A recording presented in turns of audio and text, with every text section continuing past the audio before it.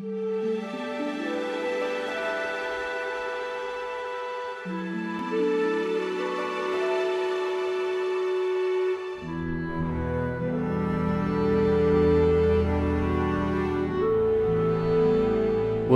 Winter Nap. William's Winter Nap. In a house on a hill that's tall and steep, there's a boy named William who's ready to sleep. He drinks his cocoa, climbs in bed. He fluffs the pillow beneath his head, then burrows down for a nice long nap, but wakes to the sound of a tap, tap, tap Excuse me, but I've lost my way. I'm cold and tired. May I please stay? Will says, Yes, I'll scooch a bit. There's room for two. I'm sure we'll fit. The two climb in and curl up tight. They yawn and say, Good night. Good night.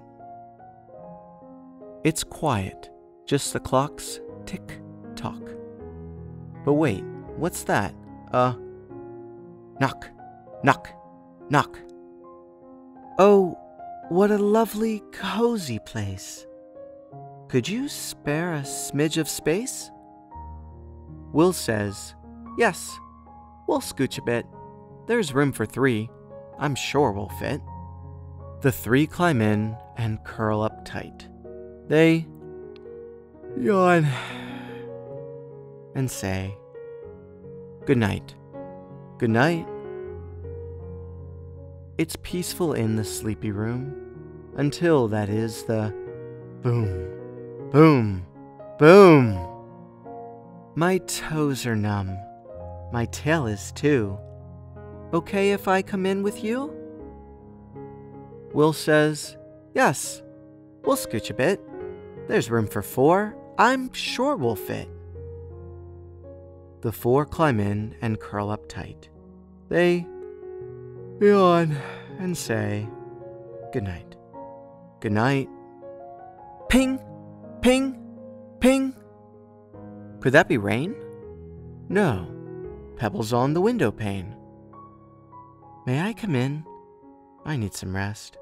I promise I'm a perfect guest. Will says, Yes, we'll scooch a bit. There's room for five. I'm sure we'll fit. The five climb in and curl up tight. They yawn and say, Good night. Good night. The sound of snoring, soft and low. Then, crunch. Some footsteps in the snow. A note is slipped beneath the door. Do you have room for just one more? I'd rather not. Too squished, no space. There's got to be some other place. We don't have room. Too hard to fit. No way. We can't consider it. Will says, If it's someone small, it might not be so hard at all. He tugs the door to see who's there. Uh oh. Oh my. What now? Uh, bear! I saw your light on through the trees. I'm lonely. May I join you, please? Bear shivers in the falling snow. I see. No room. That's fine. I'll go. It's awfully cold. The snow, the ice. He'd keep us warm. He seemed quite nice. They all say, Wait!